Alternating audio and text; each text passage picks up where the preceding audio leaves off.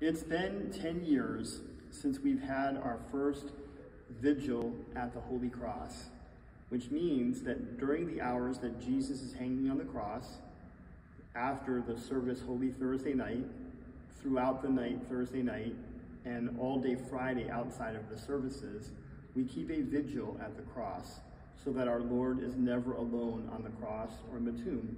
There's always someone here at the church with him.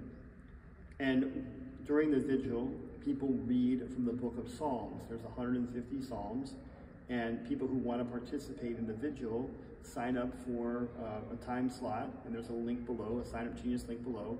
They sign up for a slot, and it's anywhere in the night and outside of the service times on Friday.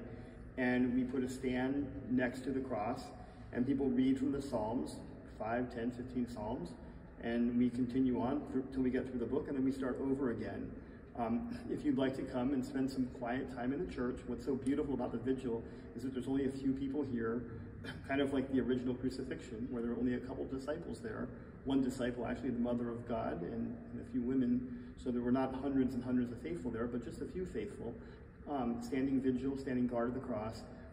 Um, and if we're going to start after the service of the 12 Gospels, Thursday, Holy Thursday night, beginning at 10, you can sign up for slots from 10 p.m. Thursday through 9 a.m. on Friday. We take a two hour break from the prayer vigil to do the service of the hours. And then from 11 to 3, the vigil continues. And then we take a break from that at 3 o'clock for the descent of the cross, the service of the descent of the cross. And then uh, we go from 4.30 to 7 with the final leg of the vigil up until the lamentation service begins. Again, you can see all the time slots. Um, they're down below on the SignUpGenius. And what's so beautiful about this is from 6.30 Holy Thursday until 10.30 on Good Friday night, there's a 28-hour consecutive vigil of prayer and worship going on in our church. And we, we stay with the Lord as he stayed with us in our sinful condition. We stay with us in his condition of humility and death.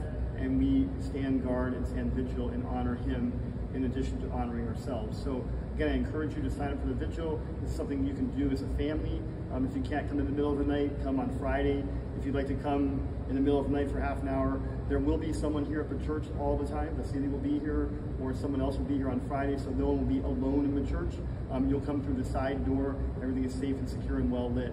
So please consider signing up for the vigil and continuing this beautiful tradition that we've been doing now. This will be year number 11. God bless you. Kali Anastasi.